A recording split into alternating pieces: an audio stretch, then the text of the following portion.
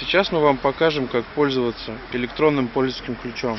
Сначала подвешиваем 5-литровую бутылку за основание ручки и 19-литровую бутылку ставим в нишу.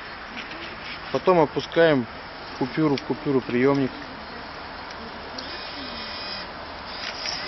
После того, как высветится внесенная вами сумма денег, прислоняем свой ключ в окошечко, предназначенное для ключа.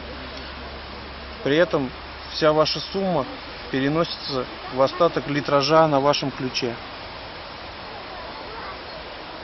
Все, таким образом пополняется баланс вашего ключа. Теперь вы прислоняете ключ, высвечивается номер вашего ключа и литраж. Теперь нажимаем кнопку пуск или вода. Происходит налив воды в вашу тару. Для экстренного торможения воды надо нажать кнопку пуск или вода повторно.